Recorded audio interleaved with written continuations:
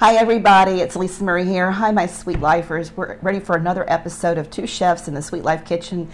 And we're hanging out today. My friend and dear, dear pal over here. We're just busy making all kinds of great recipes for you guys. Carlos Wallace has got Seven Seeds Barbecue, as you already know. That oven's already been preheated, as you just heard. And we're going to get started today making some beautiful recipes. So, first off, we're going to make my really beautiful cheesy cabbage casserole. Mm. And, you know, we've been pulling all that beautiful vegetables out of the garden, picking up all our herbs that we need today for our recipes for you. So, if you'll pull that out of the oven, what okay. I've done, guys, is I've taken one stick of butter and put it in the pan that I'm going to use for the recipe. We've prepped everything for you so it's easy for y'all to see us do this. I know it's difficult not having a bunch of different cameras.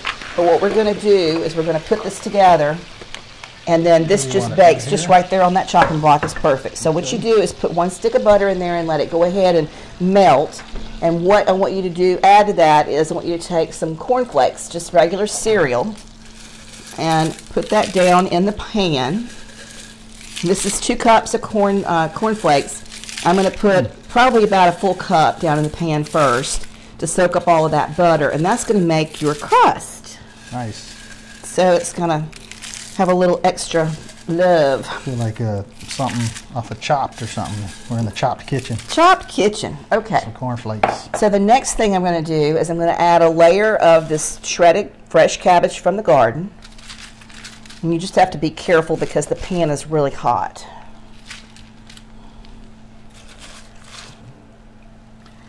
And then the next thing I'm going to do Carlos, I want you to take. get all that out of there for me? This is, well, here's what I need you to do. We're going to microwave this. So, what we do with this is this is one can of cream of celery soup and one can mm. of cream of chicken soup.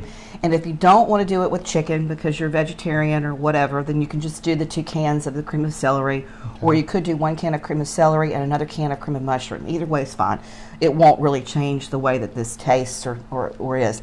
But to this two cups of, of soup, I want you to add a cup of milk and I want you to add what I've done, just being conscientious cost-wise, my mayonnaise. You're supposed to do a fourth cup of mayonnaise, but you know how I always do a dollop of this and a mm-hmm. scoop of that? so what did I do with my mayonnaise? I threw a little water in it and shook it up and just squirted the is rest of it in there. So this is mayonnaise, but it's mm. mayonnaise that has from the very bottom of the jar, right? So it's whatever it was left like in there. No, it sure did, but it's just mayo. So you put, so here you go, and we'll have all the information for the recipes in the episode below. But just to review, you're going to take the soup and the milk and the mayonnaise, and what I want you to do for me is stick it in the microwave for three minutes and stop it at each minute and just do it a little stir because okay. I need this to be kind of more liquidy and more combined before we pour it over that okay, cabbage. You me do that? That's my job yeah, right if you'll there. do that, that I'm going to give you that spoon. It.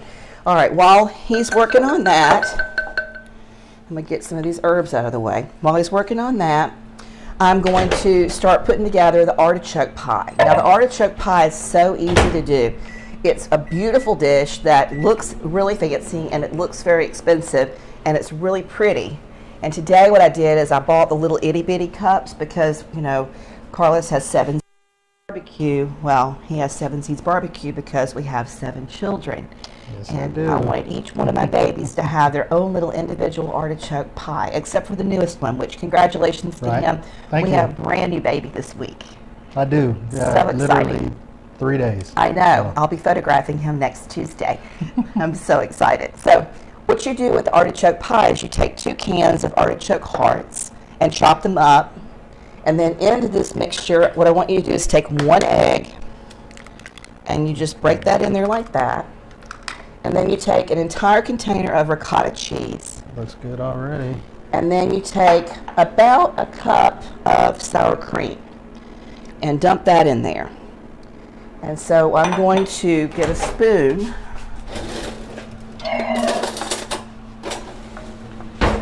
and put all of this together. Stir it up, get everybody happy together. And then I'm going to add in there a cup of uh, finely grated Parmesan cheese. And the next thing I'm going to add is a little bit of spinach from the garden. Now, you don't have to do spinach if you don't want to. Um, you know, it's up to you. But, you know, we always order that spinach and artichoke dip. hmm You know, you could even put bacon in this, guys. I, I actually love that. I have some at the house right now. Yeah, I keep it. I keep it Yeah. because I always find it is a wonderful little nibble here and there. If there's So a, ricotta cheese, this is ricotta, sour cream, one egg, one egg, Two- artichoke. two cans of artichoke hearts chopped. Okay. Okay. And then, if you, like I said, if you want to, again, for those of my friends, lots of them in North Carolina have asked for vegetarian dishes. Skip the bacon. If you love spinach, if you've got fresh spinach, we just pulled fresh spinach from the Sweet Life Garden, so we've got fresh spinach. Take a handful of spinach. It's not going to hurt anything. Put that in there mm. with it. And then don't mm, forget, Okay. very important step here is the Parmesan cheese, and a full cup of that needs to go in. Get all those little gibbles in there. All the gibbles. All the gibbles. Now, you know, funny story. and I thought about it whenever you said something about vegetarians and, you know, they can, if you're not a vegetarian, add bacon. When I was younger, you know, of course, I grew up, you know, mom would make a pot of beans and she throw, she throw, you know, a chunk of a wild boar in there, you know. We'd have hog, hog Oh, meat and the, and, the, and the beans, pot of beans. That was normal. Amazing. And I ended up having a friend who was Muslim who came over to the house. Uh, and, and, uh, and my mom felt uh, horrible. She was like, oh no. She, well, of course, he didn't eat it. You know, he Right. asked and we didn't feed it to him. But, you know, I had an, one of my other friends said, you know, Ali, one taste of these beans, you'll be a born again Baptist, you know. so, we, you know, the, the joke has been, you know, the Baptist beans is what my mom and them call it now. They call them the Baptist the beans. Baptist beans. They put, That's the, put the funny. chunk of hog in there. That's the funny. beans. That's funny. Well, now, Carlos, hand me this tray so we can show everybody Okay. what we're going to do next. Because these are going to Yes, go in. I'm going to put the artichoke pies in at the same time that we're going to be doing this cabbage casserole. And then we're going to work on um, the macaroni and cheese, Nana's recipe, right quick and get all that in the Mm. oven because then we've got to focus all of our attention and efforts on the oxtails and on the Short uh, ribs. And the, sh- and uh, the the short trip, but also there's potatoes as well. So we've got a bunch of different things going on, so don't get confused. But that's pretty That's- much where it needs to be. right yep, that's perfect. If you want to pour that over that, that would be wonderful. Okay.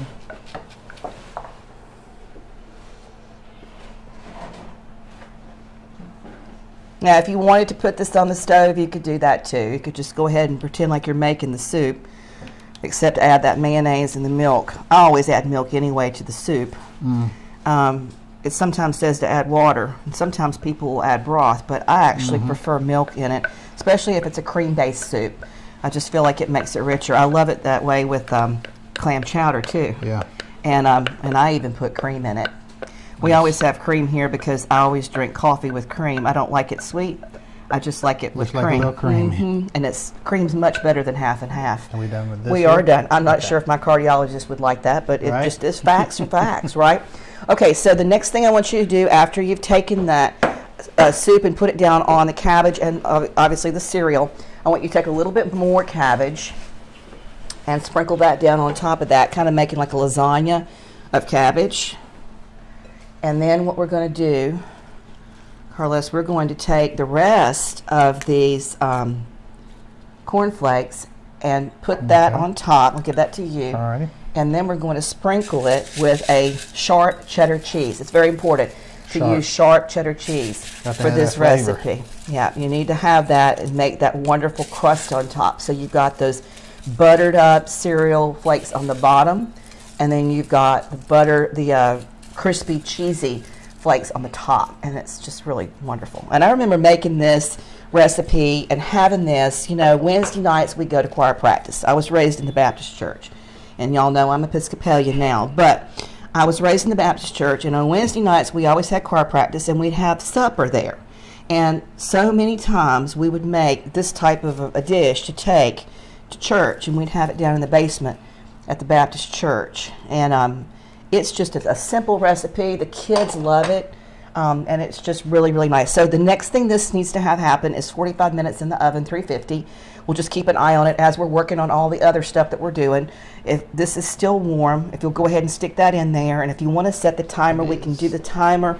Um, And I'm going to grab another spoon. We got a little Alright. corn flake over here in our artichoke pie crust, and I'm going to fix up these pies real quick and show you how to do that. So easy. Um, just love this. This is actually also a wonderful little dish to make for uh, a tomato basil soup side.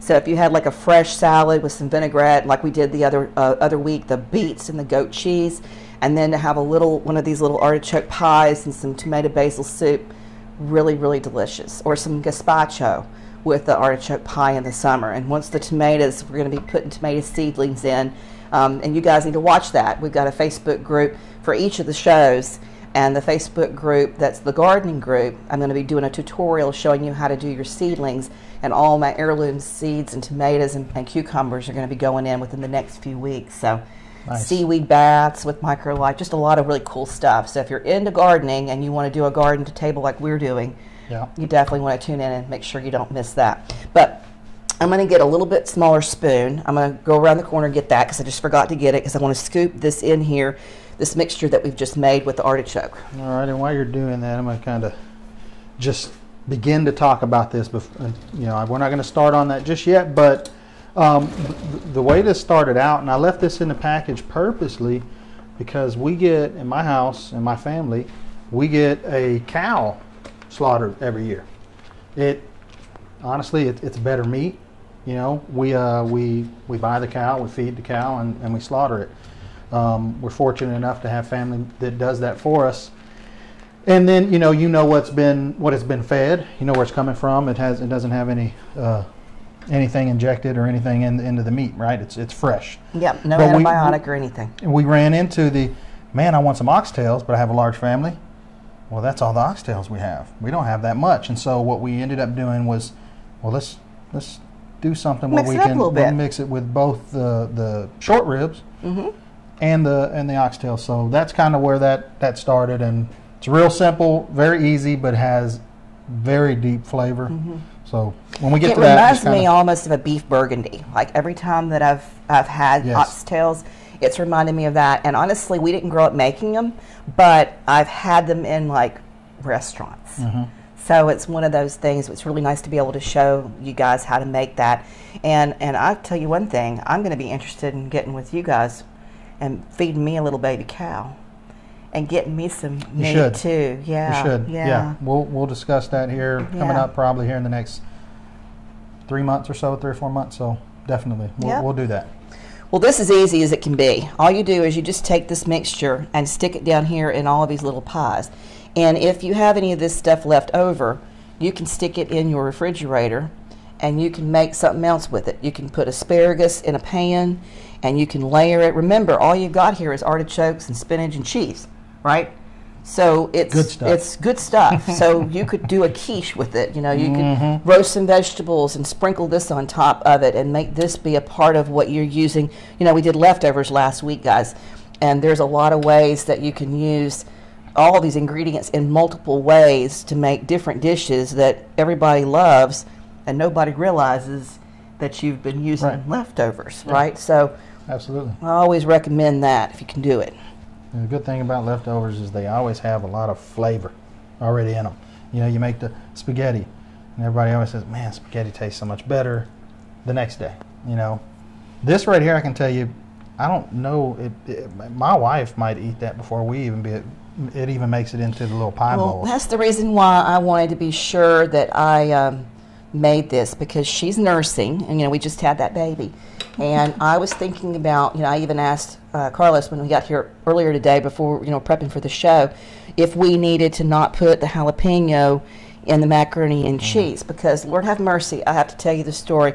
You know James Edward ate boobies for two years, and Victoria Ann had her first anaphylactic reaction when she was seven months, and that was really strange because back then, 22 years ago, children weren't having that severe food allergies. It was the beginning of that, right? They didn't even have all the labels or anything, and so we've lived all these years parenting a child with EpiPen and making sure that you didn't have nuts and all those things. And she's still highly allergic to a lot of the stuff that she was allergic to even as a baby. Wow. And but one time I was nursing James, and, and they asked me, when I got pregnant that second round if I would be willing to do that. And I was like, sure. I mean, I own the company. I photograph pregnant, naked women and babies all day long. I can mm-hmm. whoop out a booby and feed a baby, and nobody's going to say anything to me, right? Because I own the company. There you go. So I just did my own thing, and he was guaranteed titties for two years. But here's the thing. One day, out of all these times that I fed this baby, he turned his head away and would not nurse, screaming his tail off. You ate something spicy? I ate red pepper flakes. My mother in law had come to visit from North Carolina. She had made her peppered uh, beef tips over rice, y'all. Brian loves it. And I ate it, didn't think a thing about it, and that baby was mad. So I I, wanted to make sure before we started doing our recipes today that I didn't mess up and make titties hot titties. That's what we call it, Oh, hot Lord. titties. Making sure I didn't mess up my little baby because I Uh. want him to be so happy and not give her any trouble because I know y'all are up all night long right now with that newborn. They keep you up, but gosh They knows I just love them. I I have loved photographing all of these babies all these years. Yeah, yeah. He- he's he's super precious. I I had to hold him, give him a give him a kiss real quick before I came over here today. I, I've been so busy today. I felt bad. I was like, man, Daddy hadn't had a, time, a lot of time to spend Play. with you today. I know it. Well, Well, I'll- he ain't worried about that. He's worried about Mama. He's feeding. worried about And mama's that's all. boobies is all he's worried it. about. I tell you that right now. That's that's the world I live in. It's booby, booby, booby. Now I've got these filled up good and full, and that's exactly what I want you to do. Fill them up a little bit. Don't be afraid if they're a little bit high. They're not muffins. Mhm. They're they're like little baby quiches almost, but They're gonna settle out, right? they are. so- I'm gonna sprinkle a little bit of pepper on top. Again, you don't have to if you don't want to, but I'm going to do that. You want me to get this for you? Sure. Uh, there's We'll sprinkle a little bit of pepper on top of there. And Carlos, if you'll stick that in I the want. oven. I, I have to say, I, this is worth mentioning. It's very funny. Now, I was last week. If y'all remember, she had an identical glass bowl for the pepper over here yes, I did. in the middle of shooting. As it was going, I broke it right, and then I was frozen. I was like, "Oh no, what do I do?" So he what even does let out a little huh. and when James Edward was doing the editing for that, it, it was so funny because we had two calamities that one y'all didn't even know about. It all happened because it was edited out where Mm-hmm. I busted a glass all over the floor. But that one, you actually an audible huh, and Jamesy was trying to find that for the editing, and he was like, "I got it." It didn't take him long at all Yeah. to find it. He saw it. This is what she got. She has to, to basically she has to Carlos proof the kitchen. She's getting cast iron everything. So I'm just uh, that was funny. This was the joke today. All right, I'm gonna All give right, these to you. going in We'll there? stick them in there. Again, I watch that. Y'all know me. Y'all know how I cook. I'm an artist before I'm anything else, and so it's a dollop of this and a pinch of that and whatever. And Yep. so I, you know, I, I've made them big. I made it big for Christmas um, because we just had this our family gathering, and then I made them itty bitty. And my son-in-law just fell in love with the way that they tasted. He said they taste better. There's, I guess it's just because it's more concentrated, and it's just right proportion, a different feeling in the mouth, and so Yeah. that's why I wanted to go with that as well because that's how I'll make them from now on. But 350 is the same same temperature for And how all long? of it. Well, I'm going to just keep an eye on it. Okay. I'm going to say we know that cabbage casserole is in there for 45, so I'm going to keep an eye on it while we're working on the oxtails and the and the ribs. Um, I want to put together Nana's right quick because this is soup so easy, and all of it can just be baking while we're doing the, the other stuff. So, what I've gone ahead and done is this. and this is just a snack on. That's Yeah. just a snack Okay. on. Well, there's a raw egg in there, so you do kind of have to be considerate of that. Yeah. That's never scared me You away from set this over anything. Yeah. So what I've done, this is not sexy, and I apologize for that, but again, because I'm sending him home with food for the family, I've taken the liberty of using this type of uh, packaging just to get the macaroni and cheese done. Now, I asked him, you're going to laugh, because macaroni and cheese is actually on his menu for the, the truck, and and he started talking about all this stuff, this roux and making this stuff, and I thought, mm-hmm, okie dokie. Well, I've never done it that way before, and so he just smiled and said, "I want you to make Nana's." And so I'm just going to do Nana's recipe because this is this is just how I know how to make the macaroni and cheese. Now, how this has happened in terms of the history of it is we always have a ham for Christmas. And so Nana would take the ham and she would chop it up and then she turned it into macaroni and cheese. And you know, I'm the oldest of five. I've got, come from a big family like you've got, and so that was her way of taking that ham and making sure it didn't go to waste. The rest of it would go into the butter beans, or the black eyed peas, or some other beans that she was working on. But but the main part of that leftover ham would just get chopped. And so what I've got is I've got some leftover ham hock. And I had used this for another recipe. If you are watching the Sweet Life Supper series on Instagram during this month in January, you would have seen that recipe there as a dinner that we had one night. But I've just taken the ham hocks and I've chopped them up into little little pieces, bite-sized pieces. Some of them a little bit bigger than others. And all I'm going to do, we've got cooked macaroni. There's just cooked macaroni with a little bit of olive oil on it, and I'm going to just take handful of the ham hock and just evenly put into each one of these pans, since one's going to your house and one's staying here at mm-hmm. mine, and just get the ham in there. And then what I'm going to do is I'm going to take a little bit of onion and I'm going to put that in there. This is just chopped scallions, guys. Nothing special about that. And then I'm going to take a little bit of cream. There we go. Now this is heavy whipping cream. This is not uh, half and half, and this is not watered down milk. This is the real deal. And what I'm going to do is I'm going to drizzle in here, right? And then the next thing I'm going to do, I might need a little more of that actually. If you'll get me a little bit Yep. more of the cream, I'm going to take some, and you know what else I'd like a little bit more of, Carlos? Is some more cheese. As I'm eyeballing More this, cheese. I that got cheese you. is right there in front of you. cheddar, Right, that's it, right there. Sharp cheddar, just like There I talked to you about for That's that right. cabbage. Sharp cheddar has to be the cheese you use. Now Nana would take it on the block. We were never going to buy any grated cheese pre-done. That would have been against the religion to do that. But thank goodness they have that. That's perfect. Readily available, right, for everybody now. I don't even remember because I never went to the grocery store up. going up, growing up. But um, sharp cheddar is very important. But she would slice it in big chunks and lay it in there with the ham. Um, so it just let me get a little bit more of that cream in there. Let's see where I, I think this is the one that needs a little bit more. All right, now I'm going to take the cheese, and this is about two cups, I think, just this whole bowl.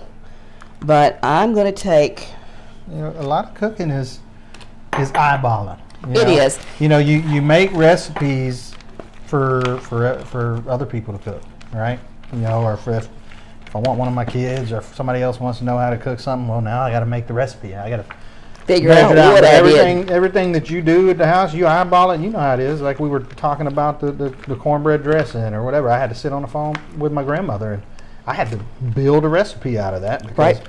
it's just something she just threw together. Just I mean, and does that's, it. That's how I do all the time, and and and I I've been trying to get better about it um, because on the on the trailer and, and the, with Seven Seeds, I'm going to have to you know train other people to do the work as I take on. More stuff That's right. So and more shows with Auntie A. and, uh, you there. So we're going to, you see what I've done here. I've used my hands. God gave us hands for a reason. So this is what I've done. I've used my hands. And sometimes my hands are the best way to get things incorporated. I mm-hmm. know people try to be fancy and cute and use mm-hmm. spoons and spatulas, but honestly, sometimes just sticking your hands in there and just doing it is the thing to do. Now, mm-hmm. I want to ask you a question. Do you want me to take those jalapenos and put them in there and mix, or do you want me to? You do. Yep. Okay. Absolutely. All right. So his children happen to like spicy. Again, I don't know if this new baby is going to, and it's frightening to me to do a whole lot because I really don't want to mess up those boobies. We'll find out. But you know, the whole time, the whole time that she was pregnant, she ate spicy. Yeah. You know, and that's kind of probably all my kids eat very spicy food. It's kind of crazy to me because they're not that's they're not normal kids. They eat habanero sauce on everything, so it, it's weird. But uh, this one, he'll probably be the same. So all I've done, y'all have watched me while he was telling you about that, is you just take a little bit more cheese and stick it on top. No, I think, well, maybe a little bit more over here. No, no. And so what I would suggest is, again, just watching it. Everything in here is already cooked, right? I mean, you're not going to hurt yourself. The ham's done, and macaroni's already done. And the only thing you've got to really look for is for everything to just come together. Um, let that cheese get crusty on top. If you want to throw the broiler on at the very tail end of it, just to get a little bit more of a browning on it, you can do that, but be really careful with that because that broiling stuff happens really fast. But that's it for my recipes. That's it. So we've done the three, and then if you'll stick this in the oven, and then I'm gonna wash my hands, and then I'll be at your disposal, Carlos, to help you any way I can on these oxtails and these right. potatoes. So we'll be. I'll be right back. Okay, well, good deal. Um, just uh, like I said, the way the way that this our recipe started out was the fact that we wanted some oxtails. We love oxtails, uh, and um, we didn't have enough. And oxtails aren't necessarily uh, inexpensive. They're, they can be kind of expensive for, uh, for not a lot of meat, right? So what we ended up doing was mixing it with the uh, beef short ribs and worked out awesome.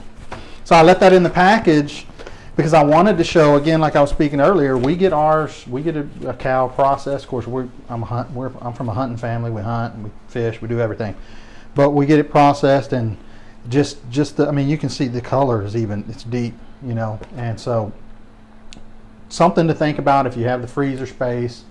It you save money in the long run and it's better quality meat. All right? Hell, something to think about just to get a freezer and make sure you've got antibiotic free, what you know what you're eating. Yep. No, that's part of the deal, guys. I mean, I when I was going through the, I don't know if you remember me doing all those shows with the chefs, but I was doing shows with the chefs, and I was doing my column called "The Artist's Palette" several years back, and I was going all over restaurants in Houston interviewing chefs and, and tasting their foods, and I got sick. I got sick because they're using things at the restaurant that had grain in it. Um, a lot of times they were using stuff that was just uh, some spice that I was allergic to or was sensitive to. And I had a lot of allergy testing done. The allergies for my daughter came through our family, my side of the family, um, and realized that I was allergic to all kinds of stuff that I just loved to eat and had to stop eating for about a year. And then gradually bring it back into my diet and was able to actually have it. Things that were crazy, Carlos, like strawberries and spinach Wow. uh, that normally you would be told to eat all the time. Yeah. And I was eating so much of the good stuff, but I was developing a, a I guess, a resistance in my body to it, and it was causing a lot of uh, gut problems. So. you know, and even, why it's even more important for you to uh, have, have your own garden if you can. Yeah. You know, if you're fortunate enough to do that, Yep. right? And that's one of the reasons why I started doing the garden way back when. And I went through, I don't know, um, I'll have to show it to you guys at some point. I don't know how I'll do that, but with the shows and stuff, maybe I'll do it on Instagram feed or whatever. But I was going through some images yesterday, actually, and moving images over to my constant contact because I invited a bunch of you guys um, that are not watching the show. Hopefully, you'll tell your friends to watch the show because if you're finding any value in this, we need you to like and share and subscribe because we we can't really monetize this thing until we get it to a thousand subs and I think it's four thousand views or something and we're getting there. We've only been on on uh, YouTube for a little bit under a year. Yeah. Uh, but but anyway, long story short, I was going through images in my phone, Carlos, and I was taking pictures of me in the garden and taking pictures of my food on my plate, like I've been doing now conscientiously through my pivot and you know through the pandemic and the pivot um, into your passion. And and this has been a long time coming. I mean, this I you know I thought I was so brilliant to have all this extra time to be able to create the YouTube channel, and this was something new. And I was back looking at 2015 and some of the posts that I had done on my Instagram and on my Facebook, and just taking pictures in my phone. And I was shooting me in the garden with tomatoes way back when. So this has been like 10, well, five years really. Uh, in the making subconsciously, right? And now it's just finally come to, to a fruition. So I'm saying all Nice. that for two things. One, to mention, yes, you do need to get a garden put together if you can, Mm-hmm. even if it's just something small, just herbs or something, because it does make such a difference in your cooking and it also your health. Yeah. But the other thing is, for those of you who are thinking about what you would love to do and you do for free, look through your phone. Look at your magazines on your coffee table and see if any of that gives you any insight to what's already subconsciously there in your mind.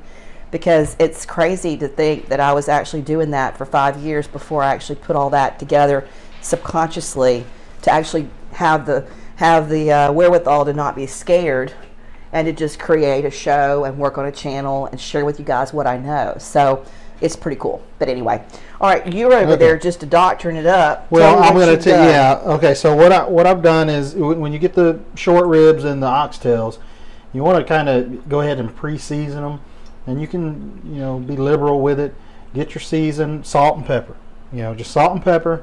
Get it on there. Have your skillet, whatever skillet you have. Uh, don't crowd it too much. You know, put oil in there. I'm using olive oil Yep. right here. Um, so you can use whatever oil. Get you some oil in there, and then you're going to brown the each side of, of your meat. 'Kay. Right. Once that's done browning, like I have some left out, we'll remove this, put it in the the pan, Mm-hmm. put the rest in there. We'll brown that.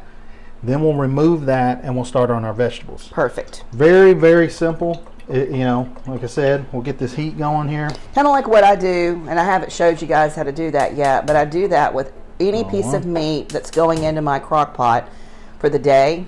It doesn't matter if it's chicken or beef or pork. I always sear it and make sure it's got a crust around it so that it doesn't come out tasting like soggy meat.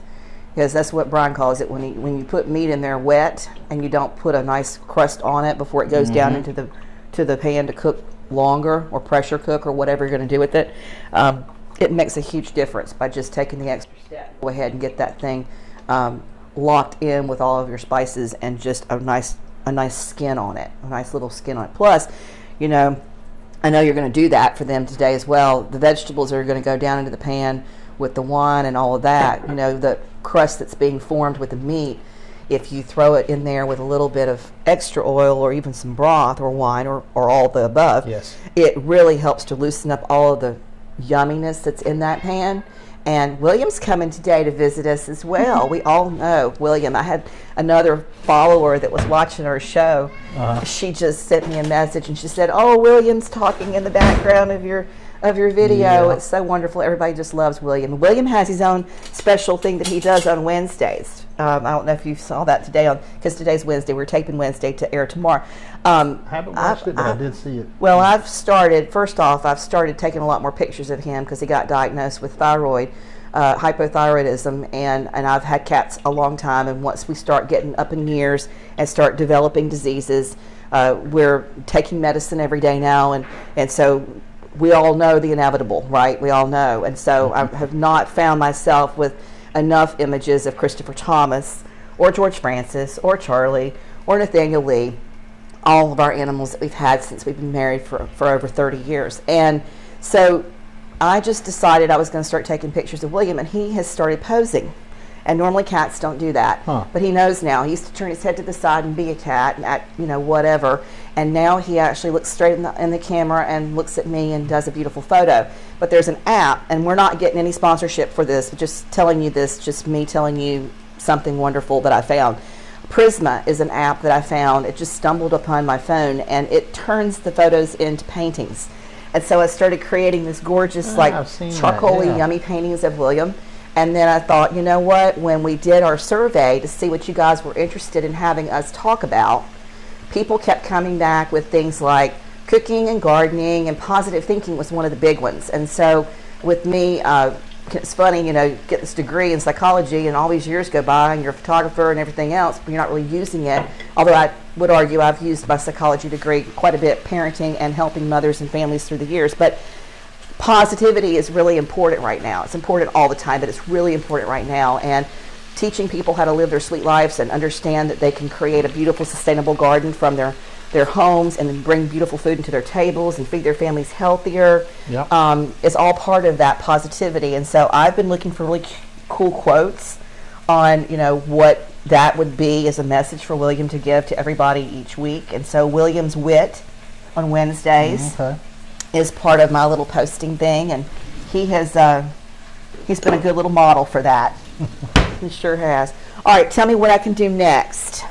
Uh, right now, we're. Uh, I'm probably gonna get this fire going on this. I can start that, Okay, and we're gonna get the potatoes. Now, what I've done with the potatoes before we started is I went ahead and, and asked Mia to cut everything up. These are Yukons. We just cut them up into small pieces and boiled them and then drained them. And so they're just pre cooked, essentially, potatoes. Yes, and and I was telling her that honestly, what I found when you do that, one, it's you know it cooks faster once you you pan fry it, right? Two, um, it to me, I've done it both ways, where you don't cook it and then prior to putting it in the pan and frying it, and then where where you do, and it seems to soak up the flavor better Mm-hmm. that way. Now you can put them in the oven, you know, olive oil, salt. Once you've cubed it up, you know, 30 minutes, maybe 20 to 30 minutes, and then they're done. They're good to go. And then after that, you throw it in the pan. And then what I'm going to do today is we're going to do the rosemary and garlic uh, pan fried potatoes. A lot of flavor, very easy, and to make you want to keep cooking them. So as you see right now, we're just we're still we're just browning these. We've salted and peppered, like I said, liberally. It's got the flavor on it. We're gonna brown each side. Once those are brown, we'll move those into the pan, mm-hmm. and we'll put the rest of it in there. Brown that. We'll get started on the vegetables, and it's a very simple deal. You you know if if the oil and the contents in the pan uh, in the in the pot are burnt after we brown these, then I typically discard it. If it's not burnt, you know, it could be dark, Right. but if it's not burnt, there's a lot of flavor in that. You don't want to get rid of that. You No, want to keep that. That's good stuff. Yeah, that's real good stuff. You want to keep that. But we'll, we'll determine. Either way, it doesn't matter because it's still, there's so much flavor in this. It's very rich. You know, you're cooking with, with the red wine, uh, which brings me to Right. you. Uh, this is just a, a Cabernet Sauvignon, and it's, it's cheap. It's like six six dollar bottle. Yep. That's all you need. You don't have to break the bank No. to get a to, to cook with the red wine. Right. And that one right there it doesn't even have a cork, twist top. But it's it's all you need, and the flavor is extraordinary. If you want something rich that you typically don't get unless you have it at a, a restaurant, You got to add the wine. wine. Red add the wine is great. And you know, I was cooking my marsala, I think it was last weekend, and um, and I called Dee down from upstairs and I said, "Listen, I need some Chardonnay." And he showed up with the Moscato, and I was like, "You can't have Moscato. That's too sweet." so we finally found some in the in the wine cellar, and I'm low on all of that. I've got apparently tons of Moscato. One of my mamas and daddies brought me a couple of cases of stuff. Somebody else brought me a case of champagne because I was doing a party for charity one year. And y'all know I drink vodka, so I was not really into worrying about wine. But I'm now that we're doing a lot more cooking, and especially you and I are cooking together, a lot of recipes that really do have that upper level quality, that high quality that comes from that restaurant feel is all because of using wines, special vinegars, spices that you don't normally have um, on a regular in your kitchen. And so part of what we want to do with the show is show you how to do that and to do it very, very economically as well. So yeah, six dollar bottles of wine. I need to buy a case of white and a case of red and keep that so that we have what we need for recipes coming up. So so you're just putting everything down in the pan. yeah, putting it in the pan, um, and then I'm gonna before I add anything else. Um, I'm going to. Sometimes I like to add onion to that also. I like to dice some onion and add it. But before I add anything else, I'm kind of going to brown it up just a little bit. Start getting it crisp, and then you add. It's going to cook fast, and you add your garlic. Your garlic will burn in there. You know, you add your garlic. You add your uh, rosemary. I I've also done them with thyme. Uh, thyme is very good. Actually, yeah, we'll cut it. I will say this: rosemary is good, but rosemary is very, very um, strong. It is. And if your family does not like that, then thyme is an absolutely fantastic suggestion. Yeah. Um, I've got both in the garden, and, and I use probably more thyme than I do rosemary just because Brian's not a big fan of rosemary. Interestingly enough, Brian's not a big fan of saffron either. And I was making a, a Persian rice the other day that called for Saffron, a saffron, and, and I substituted it with cilantro, and, um, and he liked it. So that's good. You know, just think about how you can change it up. I'm going to take a second and give William a treat and clean up a little bit of these dishes that are sitting out here on our counter, and I'll be right back with you. Do you need All me for a minute, or are you good? I don't. I'm good. I'm Okay. just going to kind of put this together. Talk to everybody as I do. So, like I said, we'll kind of separate little stems out of it, you know. And once I do that, you can The, the size of it's really up to you. Um, when you want it, if like I said, if you don't like rosemary, um, then thyme is very very good as well. And you could probably, honestly, uh, kind of experiment with other herbs and see what stuff that you like. But all right, so we got the we got everything in the pans. You hear them over there sizzling. They're browning. I'll put this rosemary in here. Uh, our meat's looking getting close. It's almost ready to go. Grab this minced garlic. I love minced garlic. I love that they've uh, Oh, done, the, done the work too. for us already. All right, we use this abundantly at the house. There is no, I don't have any measurement on this, guys. I've I did three of these right here, and I might even add more here in just a few. Um, we got that going. Get a little. You have a. Is this Slotted spoons. in or spatula? Son, either one. Spatula would be good. Speaking of garlic, guys, one of the things that I'm going to show you to do is how to put garlic in the dirt and set it up so that you've got your own garlic growing out there as well. And, and uh, you get yourself a bag of cloves. I'll go ahead and tell you about it, but I'm going to show you actually a tutorial on it at a later episode.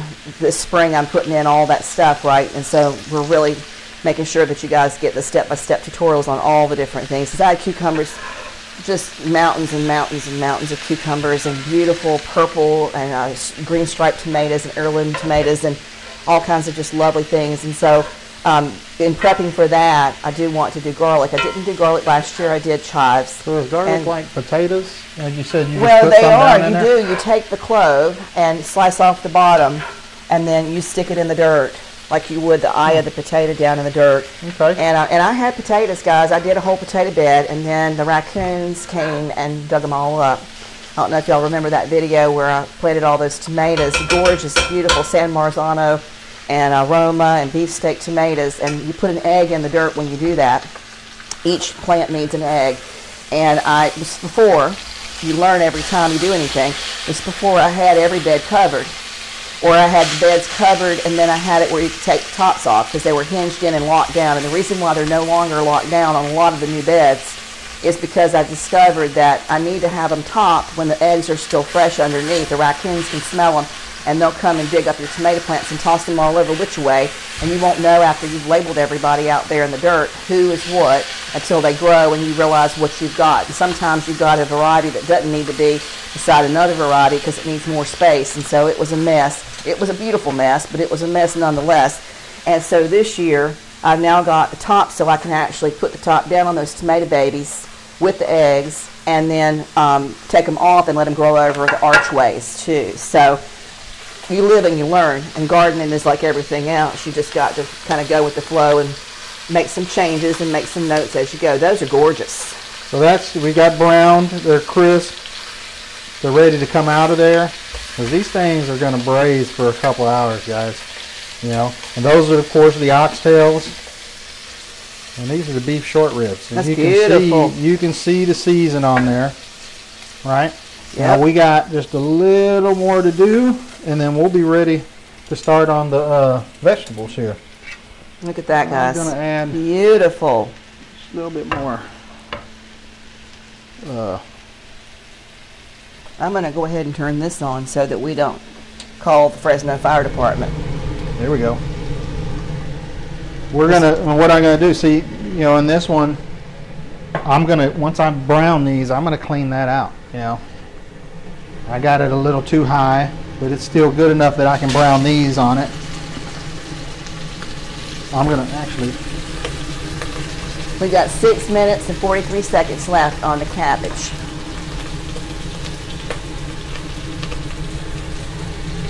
You got heat on this. You want me to stir this or leave it? yes ma'am, we can just kind of mix that. I did it on a low heat, so mix that up just a little bit and, and it'll be done here pretty quick get these browned up. Let me throw this and wash my hands.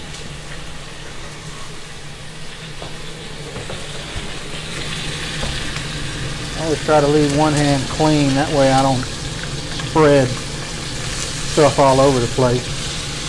Alright, now so she's mixing up the potatoes. The potatoes already got the garlic. Like I said, I, I, honestly, I, I forgot. Um, I do like to add onion to that. So dice an onion, half onion, depending on the amount of potatoes you have. In this case, a half onion would probably been plenty.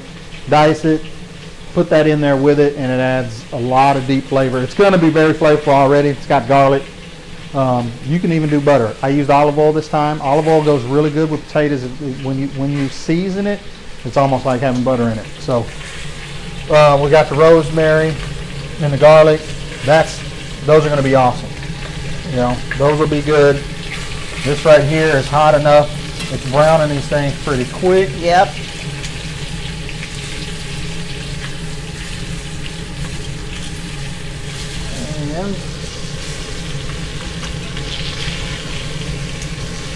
And I'm gonna flip them mm-hmm. instead of I- stirring them. I'm gonna flip them. I even, with with these type of potatoes, if you see some sticking to the skillet, you, I scrape that up. That's good stuff. That's good stuff. It's like caramelized pieces of potato. Yeah. it- It'll start mixing in with everything. Everybody knows if you've had, you know, homemade French fries or you know pan fried breakfast potatoes or anything else, So check that out, guys. you know that that stuff is sticking down there. That's good stuff. As long as you don't leave it there and let it burn. If you get it up good, boom, and you make that mixes in. That's just like little bitty pieces of flavor all throughout the potatoes. I actually You know? prefer it that way. Yep. You just got to babysit it a little bit more Mm-hmm. to get that to happen. Okay. So those browned pretty quick. We'll get those out. These in here. I'm going to wash our pan, our pot, just a little bit, and then we'll get started on the uh, vegetables. Okay. Right here's some pot holders. There's some right here. You got them? Yeah. Okay. Cut this fire off.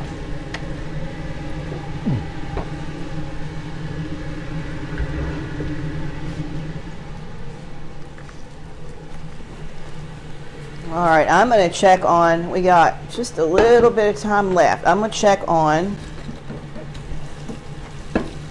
our cabbage casserole because it is done. I can see that from from here. So there's the cabbage casserole. Look how beautiful that is. Everything's all bubbling in there. Just beautiful. That looks good. So we're going to set that there. And I'm going to turn those artichoke pies sideways so they can get a little bit better circulation. And I'm going to actually take this up to 400 degrees. So I want to get a little bit more of a of a crust on those artichoke pies. Actually, I think I'm going to take it up to 450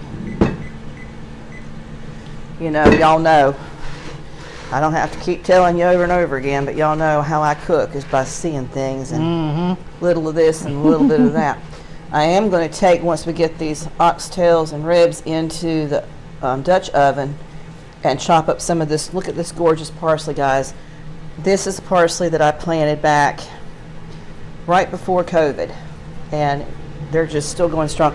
But a little note to tell you about those beautiful monarch butterflies that are pur- they're purpley blue. They eat the curly one. They eat the curly parsley, and so whenever you plant your parsley this spring, be aware of that because you will see, and I'll put a picture out there for you to see the little caterpillars. I thought they were the cutest little things. So darling, little cute caterpillars. They were so pretty and beautiful and black and yellow and and I went out there in like a day, and all my parsley was completely gone. It was just sticks sticking up. So I had to go hunt to find more parsley. And then what I had to do was net it. And then I took another one and I put it out there in the middle of the Sweet Life Garden and let the babies that were still trying to find their parsley, that's their favorite food apparently, uh, sacrificed a plant for them to continue to eat. Because, you know, it's like me pulling stuff out of the garden to feed the deer but I got the tops down to keep the deer off of it. I Yeah. want to feed everybody, but at the same time, I got to eat too. So, we learn how to share. Yep, okay. What we'll do here, Let's see, while you're working on that, let me, I'm gonna flip these potatoes again. so I'm just putting, what I, I didn't tell you what I got. What I have is just carrots. Um, I peeled them and chopped them about quarter inch. And then the same thing with, uh, I didn't peel, but I have uh, celery also. So carrots and celery. And both of them about a quarter inch chop on them. Uh, about four, four carrots and uh, three stalks of celery. Whatever, whatever you like uh, in there. Uh, we'll get those going. They are in the oil. We got the oil on. We'll get that going, and then we'll add a little season. After that, for for one pot, you're gonna need about A whole bottle? no half, about half this bottle. What'd you say? I thought you said a whole bottle. about half of this bottle Okay. be good. The other thing that you're gonna add to it uh, is tomato paste. Yep, Put some tomato paste in there, and then we'll add some water. yep. We'll let that simmer, reduce a little bit. Add that to our pan. It goes in the oven for about two hours, Yep. and we're good to go. Yep. Yeah. You know. Now I did cook some, and I, I prepared one prior to coming over here Right. Because we- we're cooking all this. We're hungry. We ain't, we don't want to wait now because it's so late. Two to three hours to eat. No. So I have this pot that y'all been seeing back here is the finished product of what I did on that. They showed oven. you how to do it, like the big old fancy cooking shows where they've got everything pre-done and then they whoop it out of the oven and go, Mhm. well, here's the one you made, and here's the one that's finished. So you pulled a fast one. My, Yep. my professional chef over here. There we go. He's really knocking it out of the park. Speaking of that, are those still warm or do we need to start warming that up? Because we'll be ready to eat here shortly. Those are. They're Be warm. careful. Okay. Well, as long as they're warm, They're warm. we should be good. yeah. I mean, there's no way really to. I don't know if we Look how beautiful on that is, guys. That's just gorgeous. You know what I mean? Swimming in yumminess. Swimming. And you know what you'll have to do. There's to be couple things. Uh, we're going to add water to it. Halfway through the process, cooking process in the oven, 350 is a good temperature for those as well. Halfway through that, I'd go in there and I would flip the uh, Meat. the meat over, right? Because you know, a lot, some of it's going to be sticking out of the, the fluid, and so flip it over, and then also check back within 15, 20 minutes. Make sure that it hadn't reduced down so much that it starts burning. Seeing it reduced isn't a big deal because you can always add water Add, to that. yeah. You can add water to that, and there's deep, deep flavor, right? I do like also uh, to add a cup of chicken stock Okay. to that. Okay. So a cup of chicken stock. you want me to get that? But you have some? I do. That'd be I'll be awesome. right we back can do with that. that. That'd be great. sure. I dropped the ball today. Forgot forgot that as well. But um, so this bottle here, I'll tell you the size. Uh, I'm sure a lot of people looking already know it's 750 milliliters. Half of this bottle. Like I said, little can of tomato paste. Eyeball the water, you know, probably about three cups, but you may have to add because it's going to reduce as it's it, when you put it in the oven. You're going to cover it, but it's still going to reduce. Um, and just just watch it. It doesn't have to cover the meat because, like I said, you're going to go in and flip it. And then also the chicken stock uh, and the wine and everything is going to be in here. We're going to reduce that first prior to spooning it over the meat before we add it to the oven. See, and this is already, you know, already cooking pretty good here. So what I can do now, I can go ahead and add the wine. Like I said, doesn't have to be expensive. Um, Cabernet Sauvignon is a good wine to braise this with, and you can eyeball it. If you're a wine drinker, you can drink the rest of the bottle, right? So, and wine is very, very rich when you cook with it, all right? That's why I said even if it reduces, it's going to have a lot of flavor. You can add water. Don't think that you've over, you know, powered it with flavor. Add water, and then you know, warm it until you, until it tastes like you want it to. These potatoes are done.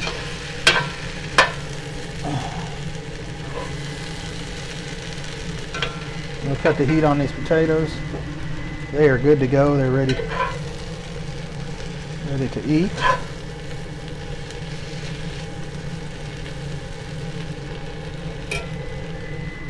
So that's the timer.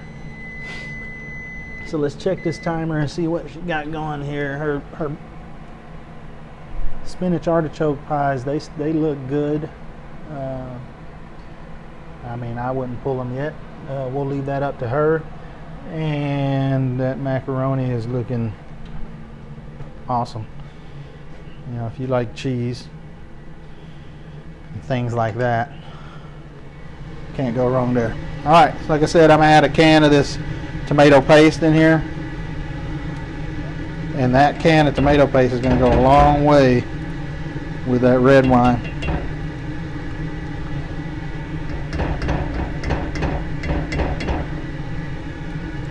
Couple of things that you can cook with uh, with the braised meat, whether it's short ribs or oxtails or anything else, you know. You know, uh, right now we have I have pan fried potatoes because I was in the mood for those. But um, do mashed potatoes, you can do polenta, you can rice. Like I was saying before, rice goes good with pretty much everything. Well, and you know what else we could do is this is going to sound really upper level, but risotto. Risotto, yeah. Ooh, with that gorgeousness. Risotto with that? Are you kidding me? That's just beautiful. So Yeah. pretty. And one thing you want to look out for too is some of the sometimes you'll get oxtails that are more fatty and short ribs that are more fatty. We're already using an oil to fry them in, and we're not discarding the oil. So whenever it comes out the oven, if there's a layer of fat on there that you don't like, what a lot of people do is they'll they may remove the oxtails from the pan, skim off some of that fat, Mm-hmm. then either add them back to the pan or just pour the, the, the juice over it. Whatever. So, but some of them are more lean. Like the, the these short ribs that I had from our cow was a lot more lean, so it doesn't have as much fat. Fat on it. Right. I'm gonna pull the macaroni and cheese out, guys, and I'll be right back. So that's the first one, guys. Look how gorgeous that is. I can smell the jalapeno in there too. Carl, you got the other one. You can move these oxtails over. Beautiful. It's starting to look like a lot of cheese, cheese and cheese. There's the macaroni and cheese with the ham hocks and the jalapenos. And we're gonna keep working on those artichoke pies. How are those potatoes coming, Carl? Potatoes are ready. Okay, awesome. All right.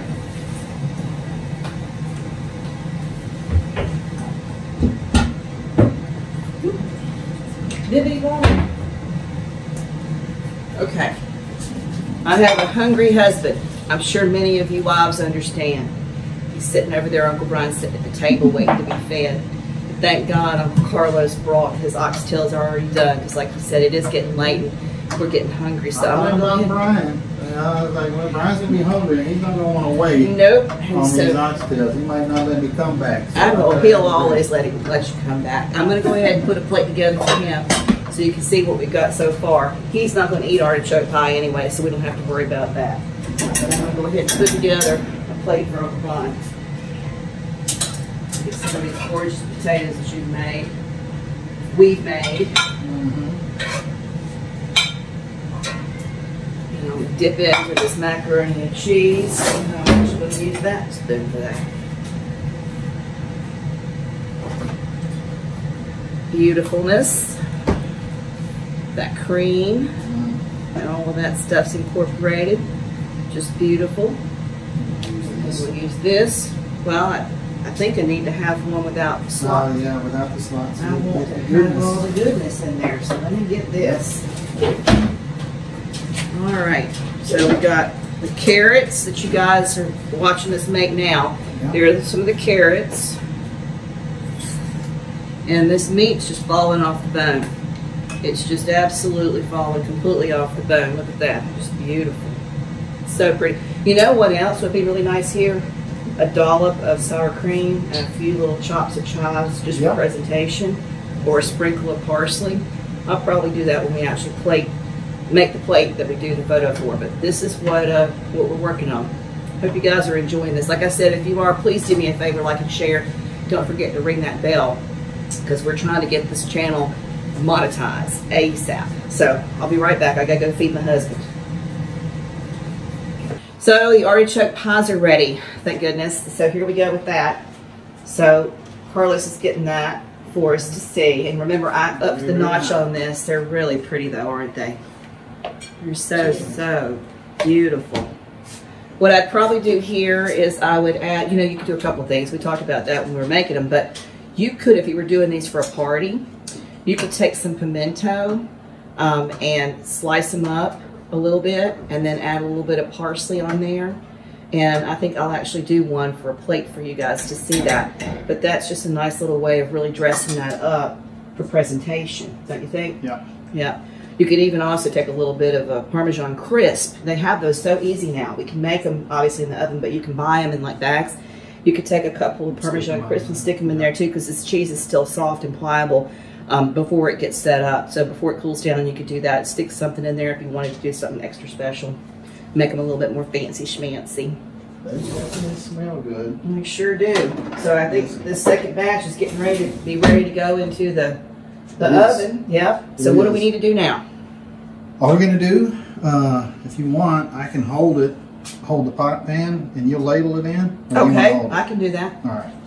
So we'll. Uh, I got it. Uh, so what I've got in here, of course, I said I got the vegetables, which was the carrots and the celery. We kind of uh, fried them in the oil. Then we added the uh, wine, the red wine, chicken stock, and some water. Mhm. You know, and of course I, I seasoned them up a little bit, salt and pepper. Um, they've been reducing, so they're good. They're going to reduce even more in the oven. So what we'll do You're It's gonna ladled hold it. I'm in gonna there. let just boil it in here. I know you guys can't see that, but I'm just gonna take this and put this on top. All this gorgeous celery and tomato. No, yeah, let's do tomato base on there. Mhm. The celery and the carrots.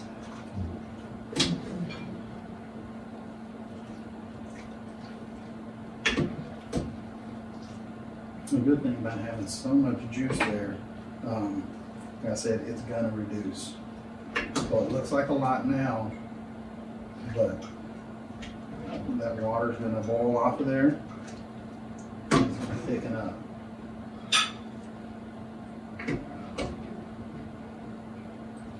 How's it tasting, guys?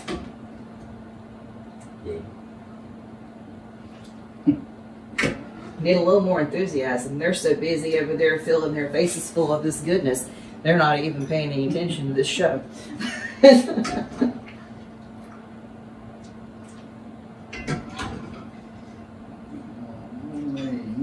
what you thinking? I'm thinking what you see in there, um, You we can leave there? that there, Okay. and then after it reduces down, you can add Use that. that to put back on. You want some tinfoil? Yeah.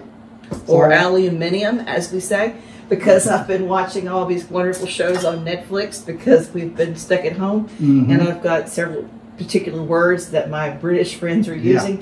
And aluminium. aluminium has been one of the ones that I've had stuck in my head. So now when I think about using aluminum foil, I think aluminum doesn't sound good. Aluminium sounds so much sexier, doesn't it? It's much more sophisticated. Yes, Yeah. higher thinking. All right, I'll be right back with So yeah, we're gonna cover this.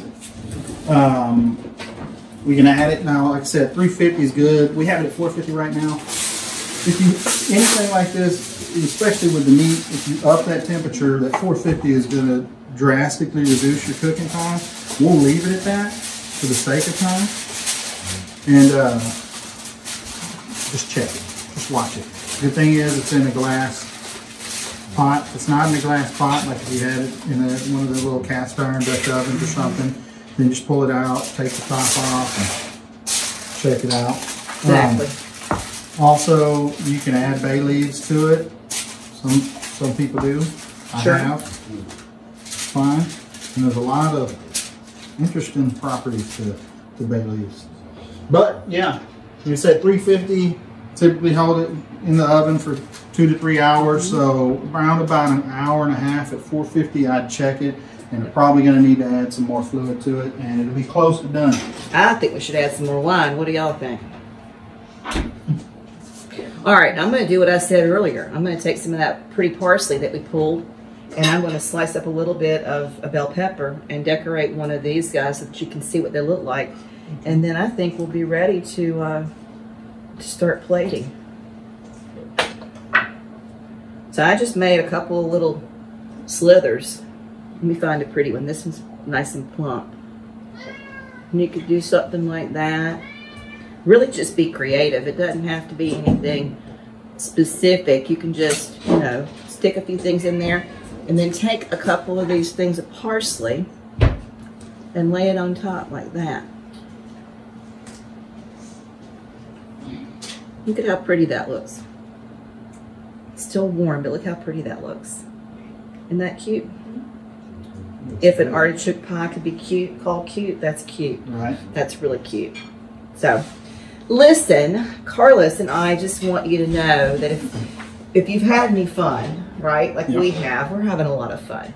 Found any value in any of these gorgeous recipes from the garden to the table to the oxtails and the wonderful wine and the elevated artichoke pie, do us both a favor, and like and share, and don't forget to ring the bell so that you're notified each week when we drop a new episode. And our show, Two Chefs in the Sweet Life Kitchen, is every single Thursday. So we'll see you soon. Take care. Take care.